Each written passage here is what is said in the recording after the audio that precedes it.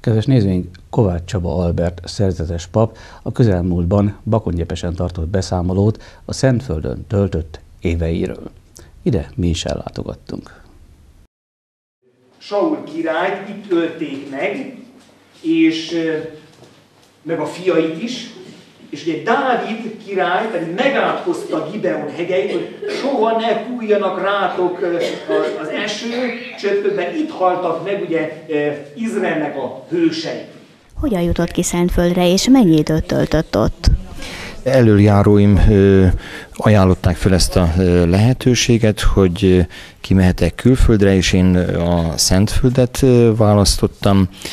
Három évet töltöttem ott, a Kármelhegyén, ez északi Izraelben van, másfél évet El Muhrakán, ahol egy 482 méter magas hegyen van a kármétáknak a, a kolostora, és utána pedig másfél évet Hajfa városában, a Stella Maris kolostorban voltam, ahol tulajdonképpen a zarándokokat fogadtuk, tehát naponta több száz zarándok jött mind a két helyre, keresztények, muzulmánok, zsidók, drúzok, és az egész világról így magyarok is nagyon sokan voltak.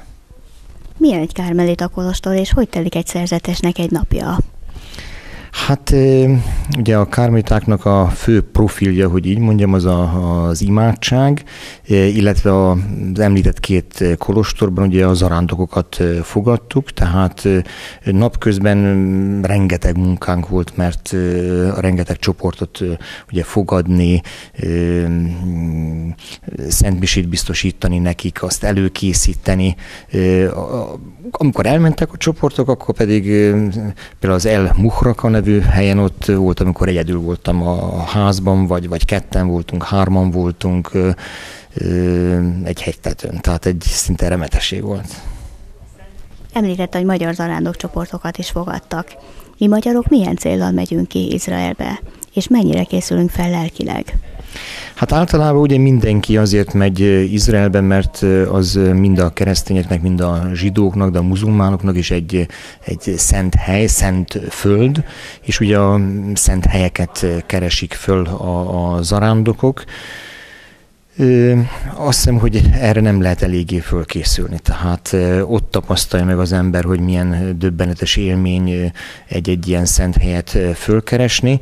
Ö, nekem lehetőségem volt arra, hogy ez alatt a három év alatt minden héten egy napot valahol töltsek, tehát elmenjünk autóval, és annyi időt töltöttünk mi egy-egy helyen, amennyit akartunk. Ebből a szempontból szegény zarándokoknak ugye nagyon szűk az a egy hét, tíz nap az idegenvezetők meg hajtják őket, ugye, hogy siessünk, mert itt várnak bennünket, oda kell menni, és egy szinte egy rohanás az egész zarándoklat. Nekem döbbenetes élmény volt, olyan volt, mint hogyha tényleg bent járnék a, a Szentírásban, a Bibliában. Ugye azelőtt gyerekkoromban el sem tudtam képzelni, hogy hol van Názáret, vagy, vagy a Táborhegy, Naim, és akkor, amikor mentünk autóval, csak ki volt írva, hogy balra 5 kilométerre Naim. És akkor persze, hogy bementünk, ugye, ahol az Úr Jézus a Naimi ifjút föltámasztotta, és akkor így sorba a, a többi helyet, és ez nagyon döbbenetes volt. Egy ilyen zarándoklat lelkileg mennyire tölti fel az embert, és milyen többletet ad? Hát szerintem egy élmény, életre szóló élmény. Vannak, akik aztán tényleg többször visszatérnek, akiknek a anyagi lehetőség ezt mondjuk megengedi.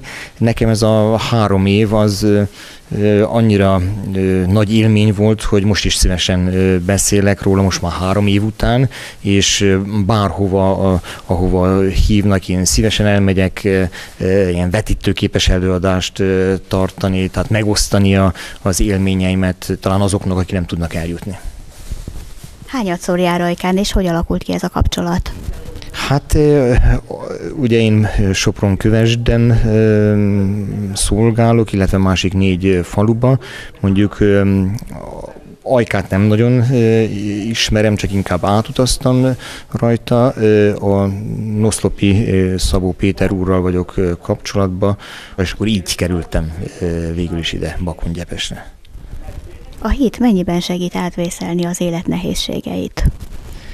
Hát biztos, hogy hatalmas erőt, pluszot tud adni az embernek, az Istennel való kapcsolat, az imádság, hiszen mindannyiunk életében nagyon sok nehézség van, szenvedés, megpróbáltatás, és ezekkel úgy egyedül szembenézni nagyon-nagyon nehéz. Tehát egyrészt jó, hogyha egy közösség van mellettünk, körülöttünk, másrészt meg hát természetesen a természet fölötti kegyelem, tehát az Úristennel való kapcsolat, ez pótolhatatlan.